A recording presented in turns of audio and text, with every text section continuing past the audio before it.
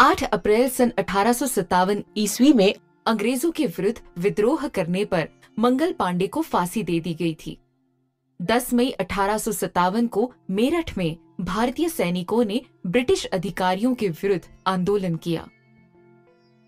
उन्होंने दिल्ली पर 11 मई को कब्जा कर लिया और अंतिम मुगल शासक बहादुर शाह ज़फ़र को भारत का शासक बना दिया। सन अठारह में ब्रिटिश सरकार की जड़ें हिलाने वाले प्रमुख नेता थे।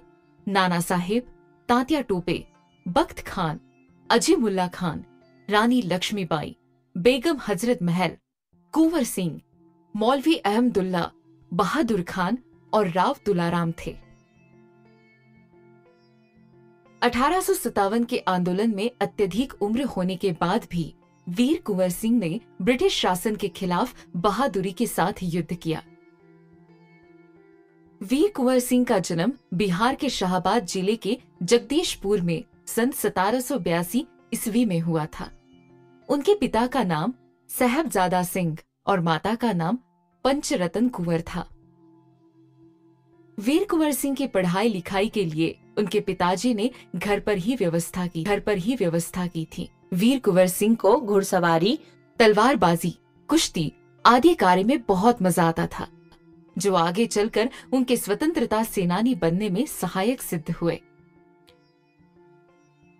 कुंवर सिंह अपने पिता की तरह वीर, स्वाभिमानी और उदार थे। पिता की मृत्यु के बाद 1827 ईस्वी में उन्होंने जगदीशपुर रियासत की ज़िम्मेदारी संभाली। और ब्रिटिश हुकूमत से लोहा लेने का संकल्प लिया।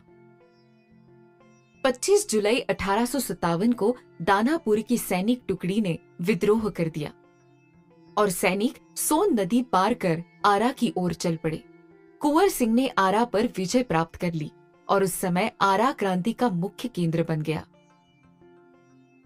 लेकिन देशी सैनिकों में अनुशासन की कमी, स्थानीय जमींदारों का अंग्रेज़ों के साथ सहयोग करना एवं आधुनिकतम शस्त्रों की कमी के कारण अंग्रेज़ों ने जगदीशपुर पर कब्जा कर लिया।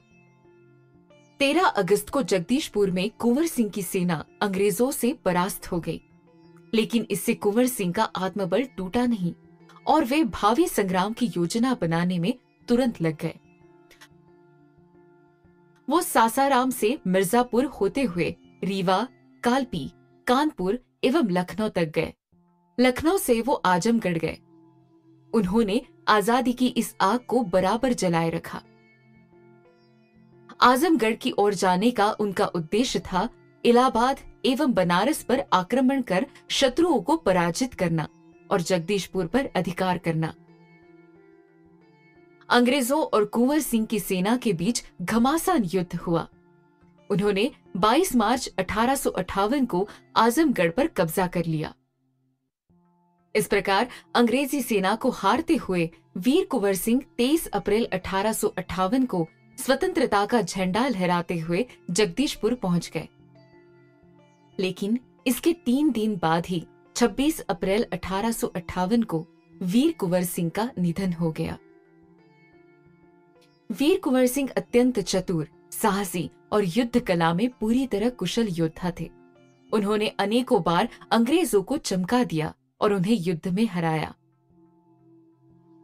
एक बार गंगा नदी को पार करने के लिए अंग्रेज़ सेनापति डगलस को झूठी खबर में फंसाकर अपनी सेना के साथ शिवराजपुर से गंगा नदी पार कर गए। उन्होंने अनेक सामाजिक कार्य भी किए। स्कूलों के लिए ज़मीन दान दी, निर्धन व्यक्तियों की सहायता की, सड़क निर्माण किया, कुएँ खुदवाए, तालाब और जलाशय बनवाए। वे अत्यंत उदार एवं संवेदनशील व्यक्ति थे। आज भी लोक भाषाओं में वीर कुंवर सिंह का यशगान किया जाता है।